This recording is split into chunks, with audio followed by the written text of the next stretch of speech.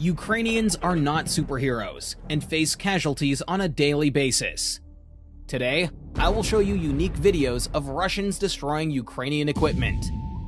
This is an American M777 howitzer. Next to it is a supply track and ammunition is laid out. The Ukrainians, realizing that the installation will be hit, scatter.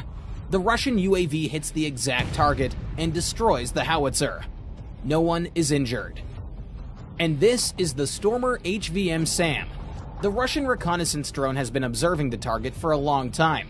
The second drone is already on its way to the target. The rare and valuable SAM has been destroyed. And this is the Polish AHS Krab self-propelled artillery unit. The UAV dives and hits the target. The hit causes fire and destroys the launcher. And this is a battery of Ukrainian S-300 SAMs. They are the backbone of the country's air defense. A kamikaze drone strike on the installations leads to a powerful explosion and the destruction of an adjacent installation. Everything that you saw earlier was the work of the Russian Zala Lancet UAV. At least 250 different pieces of equipment were destroyed by Russians using it. The Russians discovered the M777 howitzer. The Ukrainians tried to camouflage it, but it did not help. Such a drone strike on the exposed assemblies and units of the howitzer is highly likely to destroy it. At best, some of it can be used for spare parts. The camouflage did not help in this case either. The Ukrainians were too late to start hiding the gun. A Lancet hit the howitzer. The Russians found a rare 2S-19 Msta-S SPH and sent a Lancet UAV. These self-propelled artillery units are valuable because of their 152mm caliber. A Russian drone detected the installation's location and relayed the coordinates to a Zala Lancet crew. The ordnance was dispatched and hit the SPH. A Russian reconnaissance drone detects an M777 howitzer. Ukrainians cover the howitzer with a camouflage net after several shots. The Russians launch a Lancet on the coordinates of the howitzer. After such a hit, the howitzer is destroyed. Often, on the final trajectory, the Lancet UAV maneuvers sharply. Pay attention to this point. The range of such a warhead drone is about 70 kilometers. The Russians are actively using it for counter-battery warfare. This is a Swedish-made RM-70 MLRS. The drone hits the ammunition compartment, resulting in a severe detonation. And this is a Ukrainian 2S1 Gvozdika SPH.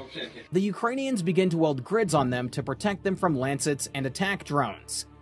In this video, two Lancets got stuck in such a grid. And in this case, the Lancet had no problem destroying the Ukrainian SPH. This is the destroyed Gvozdika SPH. We can see that the anti-drone net did not help her.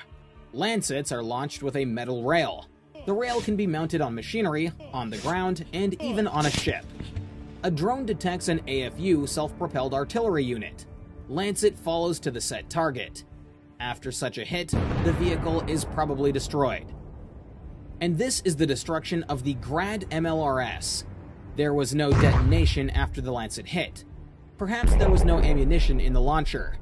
There are Ukrainians standing and watching the installation. It is dangerous to approach the fire destroyed the vehicle. Russian reconnaissance in the forests of Kremenna discovered a Ukrainian howitzer. Its silhouette resembles the M777. The Russians launch the Lancet.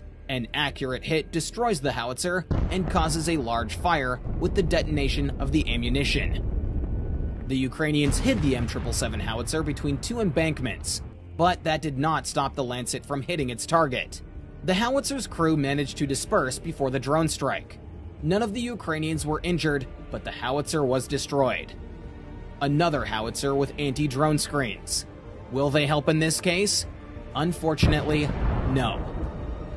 This was probably an M109 Paladin self-propelled artillery unit. The Russians spotted it, tracked it down, and when the SPH stopped, launched a Lancet UAV at it.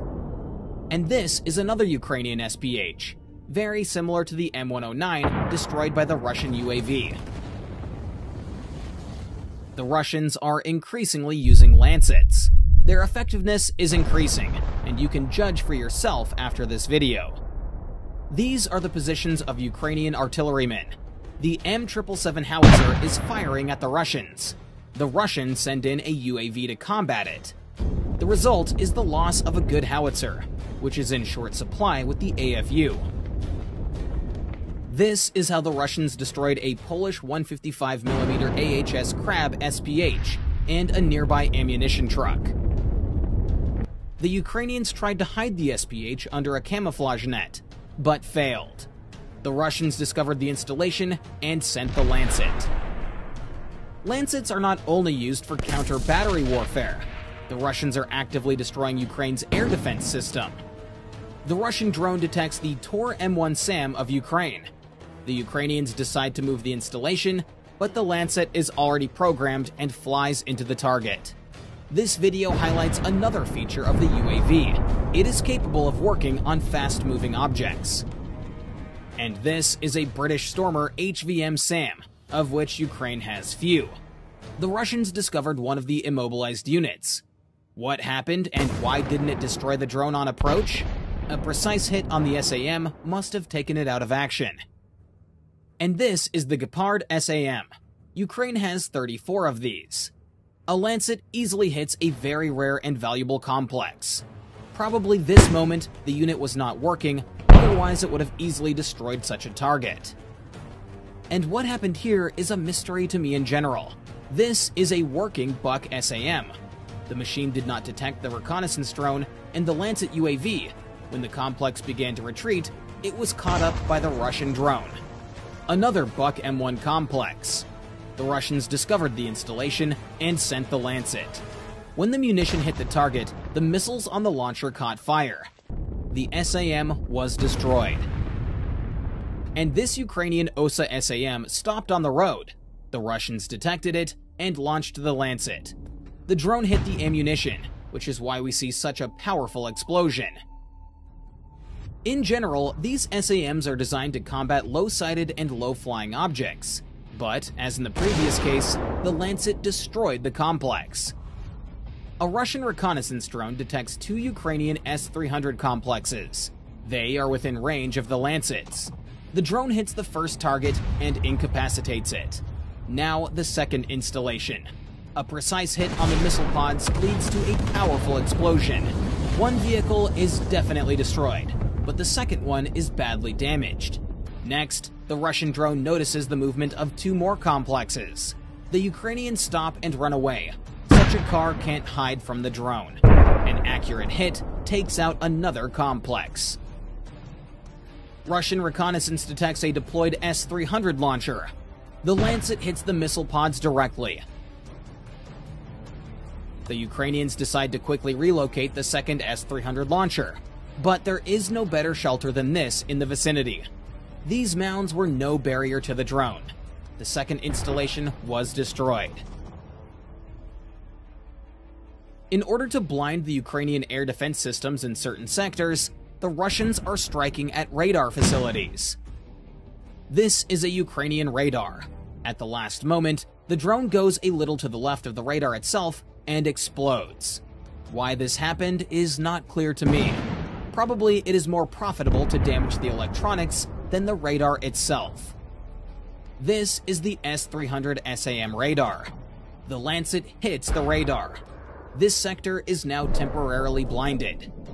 And this is a rare Ukrainian Bukovel electronic warfare system.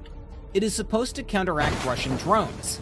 A precise hit on sensitive electronics makes the system unusable. Lancets are also used to destroy Ukrainian tanks. Amazingly, a 3 kilogram ammunition charge can penetrate armor and destroy heavy armored vehicles. And in this video, the victim of the Lancet is the Ukrainian BMP-2.